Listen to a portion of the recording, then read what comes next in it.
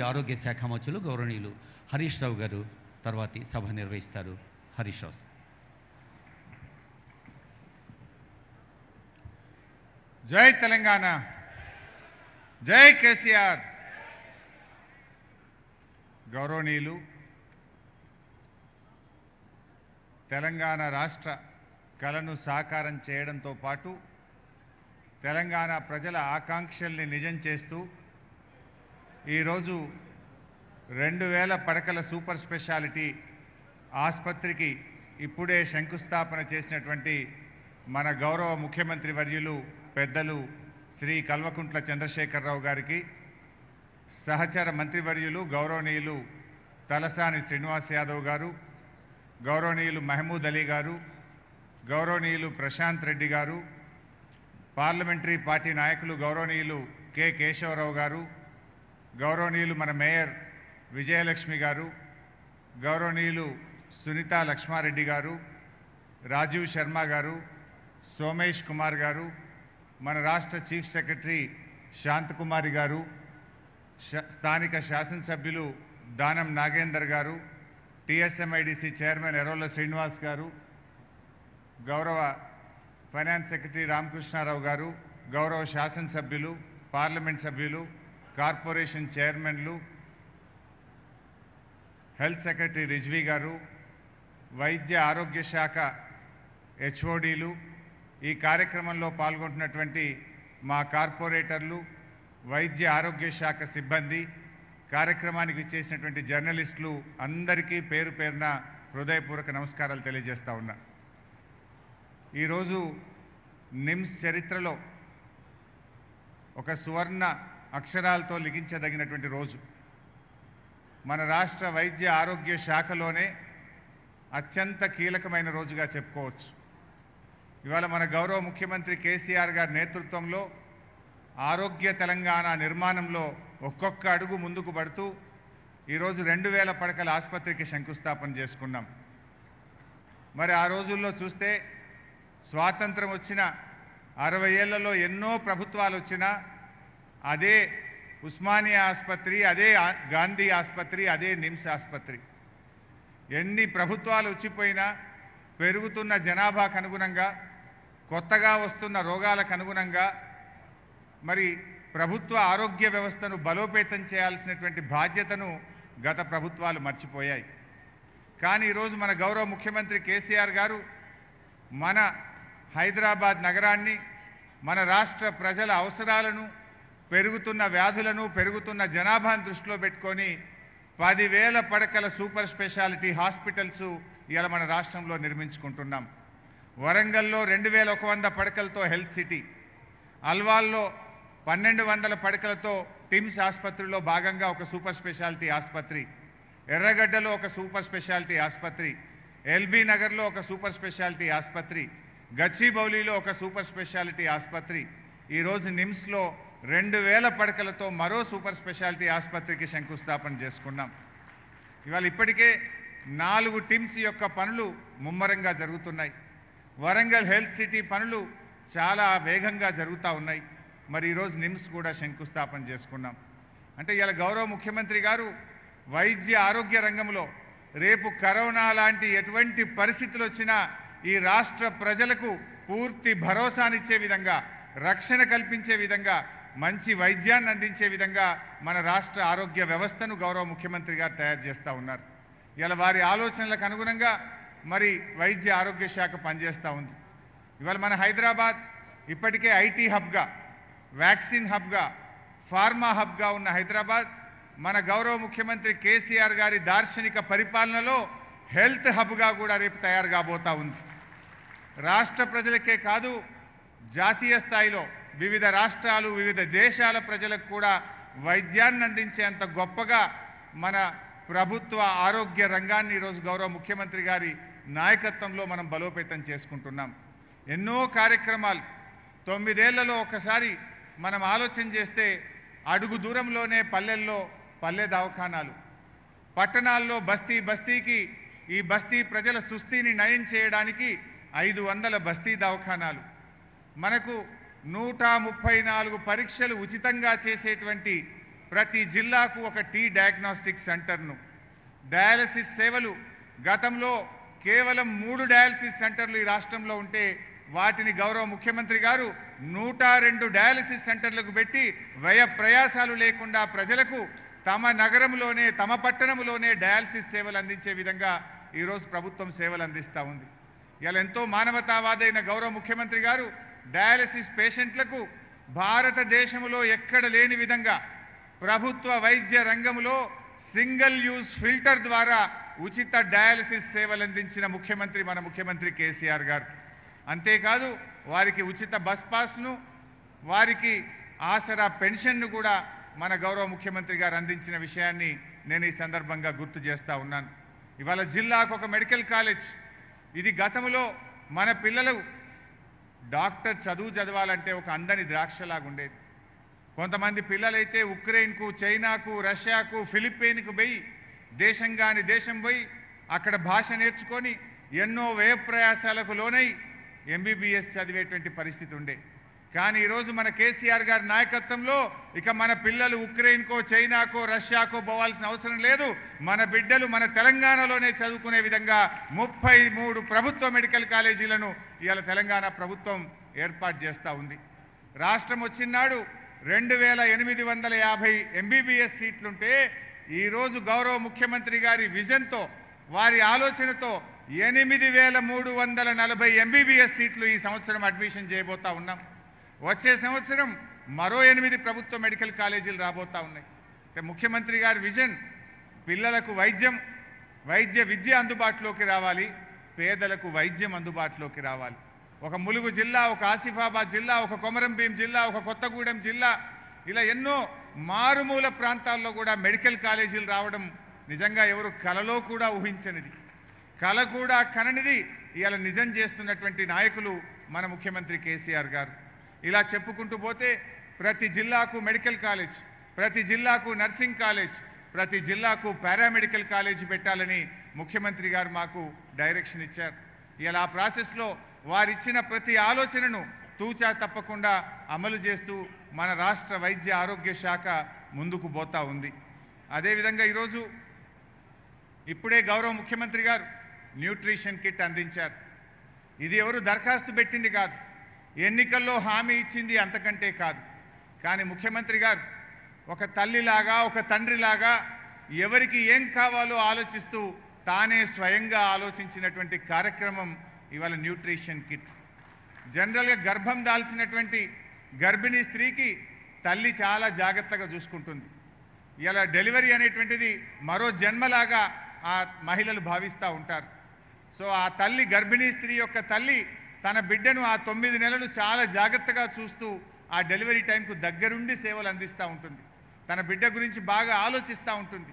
ఒక తల్లి ఎలా అయితే తన గర్భం దాల్చిన బిడ్డ గురించి ఆలోచిస్తుందో ఇవాళ ఒక తల్లిలాగా ఒక తండ్రిలాగా ఒక కుటుంబ పెద్దలాగా రేపు పుట్టబోయేటువంటి పిల్లలు కూడా ఉత్తమంగా ఉండాలని ఆ తల్లి ఆరోగ్యం బాగుండాలని ఇవాళ న్యూట్రిషన్ కిట్ అనే కార్యక్రమాన్ని ముఖ్యమంత్రి గారు ప్రారంభించారు.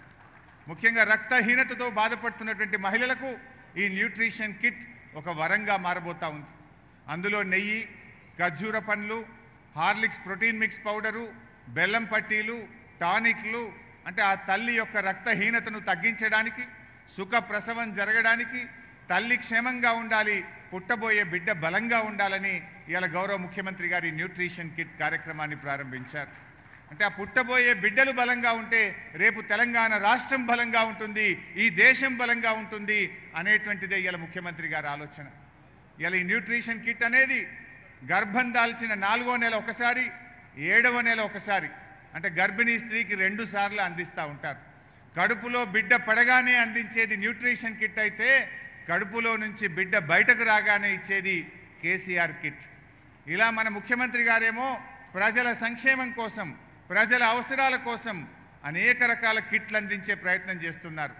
కడుపులో బిడ్డ పడితే న్యూట్రిషన్ కిట్ కడుపులో నుంచి బిడ్డ బయటకు వస్తే కేసీఆర్ కిట్ అదేవిధంగా ఈరోజు బీపీ షుగర్తో బాధపడుతున్నటువంటి మన రాష్ట్రంలోని పదిహేను లక్షల మంది ప్రజలను గుర్తించి వారికి మందుల కిట్లు ఇంటికే వెళ్ళి అందిస్తూ ఉన్నాం. మంచిగా ఎన్సీడీ కిట్లో ఒక బ్యాగ్లో పెట్టి బీపీ షుగర్తో బాధపడుతున్న వారికి నెల నెల ఉచితంగా మన ఆశా వర్కర్ తీసుకువెళ్ళి మందుల కిట్లను ఇంటి దగ్గర అందిస్తున్నాం. ఫైలేరియా వ్యాధితో బాధపడుతున్న వారికి వారికి అవసరమైన ఫైలేరియా కిట్లు అందిస్తూ ఉన్నాం. ఇలా ప్రజలకు ఏం కావాలో కిట్ల రూపంలో మన ముఖ్యమంత్రి గారు అందిస్తే ఈ రాష్ట్రంలో ఉన్న ప్రతిపక్షాలేమో తిట్లు మాత్రమే వాళ్ళకు తెలుసు. మన ఏమో కిట్లు వాళ్ళ ఏమో తిట్లు. ప్రజలకు ఏం కావాలో ముఖ్యమంత్రి గారు ఒక కుటుంబ పెద్దగా ఆయన ఆలోచిస్తూ ప్రజలకు ఎక్కడ ఏది అవసరమైతే గర్భిణీ స్త్రీలు కానీ ఫైల్ ఏరియా పేషెంట్లు కానీ బీపీ వ్యాధిగ్రస్తులు షుగర్ వ్యాధిగ్రస్తులు ఇలా ప్రతి ఒక్కరి గురించి ఆలోచిస్తూ కిట్లు అందించే కార్యక్రమం మన ప్రభుత్వం చేస్తుంది. కానీ రాష్ట్రంలో ఉన్న ప్రతిపక్షాలు దురదృష్టవశాత్తు వాళ్ళు అధికారంలో ఉన్ననాడు చేయలేదు. ఇలా కనీసం ముఖ్యమంత్రి గారు చేస్తూ ఉంటే అభినందించడానికి మనసు రాకపోయినా బురద జల్లేటువంటి ప్రయత్నం చేస్తూ ఉన్నారు. ఇవాళ మన న్యూట్రిషన్ పాలిటిక్స్ కానీ రాష్ట్రంలో ఉండే కొన్ని రాజకీయ పార్టీల పార్టీషన్ పాలిటిక్స్ ప్రజలను విభజించాలని వాళ్ళు ప్రయత్నం చేస్తే ప్రజలను బలోపేతం చేయాలి ఆరోగ్యవంతులను చేయాలని ఇవాళ గౌరవ ముఖ్యమంత్రి కేసీఆర్ గారు ఆలోచిస్తూ ఉన్నారు. ప్రజలు విజ్ఞులు ప్రజల కోసం ఆలోచించేది ఎవరు? అధికారం కోసం ఇవాళ నోటికొచ్చినట్టు మాట్లాడుతున్నది ఎవరు అనేది ప్రజలు గమనించగలుగుతూ ఉంటారు. ఇవాళ ముఖ్యంగా పల్లె దవాఖానాలు బస్తీ దవాఖానాలు వచ్చిన తర్వాత ప్రజలకు వై ఆరోగ్యం చాలా దగ్గరగా అందుబాటులోకి వచ్చింది. ఇవాళ మనం మన రాష్ట్రంలో ఎన్నో కార్యక్రమాలు. కంటి వెలుగు గురించి చెప్పాలంటే దే ప్రపంచములోనే ఇంత పెద్ద ఐ స్క్రీనింగ్ ఎక్కడైనా జరిగిందంటే అది తెలంగాణలో జరిగింది. అది కేవలం మన ముఖ్యమంత్రి గారి ఆలోచనలో పుట్టింది కంటి వెలుగు. ఇలా ఈ కంటి వెలుగు ఇవాళ పంజాబ్ ముఖ్యమంత్రి గారు ఢిల్లీ ముఖ్యమంత్రి గారు అదేవిధంగా కేరళ ముఖ్యమంత్రి గారు వచ్చి మన రాష్ట్రానికి వచ్చి అభినందించి మేము మా రాష్ట్రాల్లో ఇలాంటి కంటి వెలుగులు ప్రారంభిస్తామనడం ఇది మన రాష్ట్ర ప్రజలందరికీ గర్వకారణం. అంటే మన ముఖ్యమంత్రి గారి ఆలోచన ఇవాళ ఇతర రాష్ట్రాలు కూడా మనని మోడల్గా తీసుకుంటా ఉన్నాయి. ఇతర రాష్ట్రాలకు మనం చూసి నేర్చుకునేంత గొప్పగా మన కేసీఆర్ గారి పాలన ఉన్నది. ఇవాళ మన కేసీఆర్ పాలనలో కరెంటు వెలుగులు కంటి వెలుగులు మన కేసీఆర్ గారు అందిస్తే గతంలో ఉండేటువంటి కాంగ్రెస్ పాలనలో కరెంటు కోతలు కందిళ్ళ కందిళ్ళు కనబడుతుండే ఆ రోజు. అసెంబ్లీకి పోతే మేము బడ్జెట్ సమావేశాల్లో కందిళ్ళు పట్టుకొని పోయే పరిస్థితి ఉండే. ఇలా కేసీఆర్ పాలనలో కరెంటు వెలుగులు కంటి వెలుగులు ఆనాటి కాంగ్రెస్ పాలనలో కరెంటు కోతలు కందిళ్ళ మోతలు కనబడ్డాయి ఆ రోజులు ఇది మనం గమనించాల్సినటువంటి అంశం. ఇలా చెప్పుకుంటూ పోతే రోగం వస్తే బాగు చేయడమే కాదు ఇలా రోగం రాకుండా కూడా ఆలోచించిన నాయకుడు మన కేసీఆర్. జనరల్గా అందరూ ఆసుపత్రులు కడుతున్నాం. సరే రాకూడదు రానప్పుడు ప్రజల్ని కాపాడుకోవడం కోసం. కానీ ఇలా ముఖ్యమంత్రి గారి ముందు చూపు ఏంటంటే మిషన్ భగీరథ కార్యక్రమాన్ని వారు ప్రారంభించితే ఇవాళ రాష్ట్రం ఫ్లోరైడ్ రహిత గ్రామం. ఫ్లోరైడే ఈ రాష్ట్రంలో లేదని మనం కాదు కేంద్ర ప్రభుత్వం స్వయంగా పార్లమెంట్లో చెప్పింది. అంటే రాష్ట్రంలో ప్రజలు ఫ్లోరైడ్ బారిన పడకుండా ప్రజలకు అంటురోగాలు రాకుండా ప్రజలకు స్వచ్ఛమైన శుద్ధి చేసిన ఉపరితల త్రాగునీరు అందించారు మన ముఖ్యమంత్రి కేసీఆర్ గారు. ఇవాళ అందువల్లనే గతంలో వర్షాకాలం వచ్చిందంటే మనం పత్రికల్లో టీవీల్లో చూసేవాళ్ళం.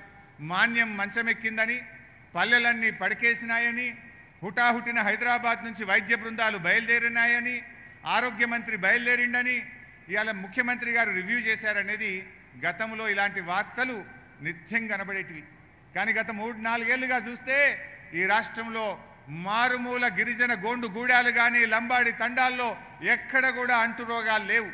సీజనల్ డిసీజెస్ అనేటువంటివి ఇవాళ పూర్తిగా మటు మాయం చేశారంటే అది పల్లె ప్రగతి వల్ల పట్టణ ప్రగతి వల్ల మిషన్ భగీరథ లాంటి గొప్ప కార్యక్రమాలు చేయడం వల్ల ఇవాళ సీజనల్ డిసీజెస్ను బాగా తగ్గించగలిగారు మన ముఖ్యమంత్రి గారు. అంతేకాదు ఇవాళ డబ్ల్యూహెచ్ఓ చెప్పింది. ఇవాళ తాగునీరులోనే కాదు పంట బండే మట్టిలో కూడా ఫ్లోరైడ్ ఉందని. ఇలా ముఖ్యమంత్రి గారి ఆలోచన మిషన్ కాకతీయ ద్వారా చెరువుల్లో ఉండే పూడిక మట్టిని పంట పొలాల్లోకి తరలించడం ద్వారా ఇవాళ రసాయనిక ఎరువుల ఎరువుల వాడకం తగ్గింది ఆ మట్టిలో ఉన్న ఫ్లోరైడ్ శాతాన్ని తగ్గించాము. అదేవిధంగా నదీ జలాలను కృష్ణా గోదావరి నదీ జలాలను పంట పొలాలకు మళ్ళించడం ద్వారా ఆ మట్టిలో ఫ్లోరైడ్ను కూడా తగ్గించినటువంటి నాయకులు మన కేసీఆర్. అంటే ఇలా సాగునీరు ద్వారా ఫ్లోరైడ్ని తగ్గించాం. త్రాగునీరు ద్వారా ప్రజలు ఫ్లోరైడ్ నీటిని తాగకుండా వారిని కాపాడుకున్నాం. అంతేకాదు పల్లె ప్రగతి పట్టణ ప్రగతి ద్వారా అంటు రోగాలను సీజనల్ డిసీజెస్ను తగ్గించుకోగలిగినాం. హరితహారం.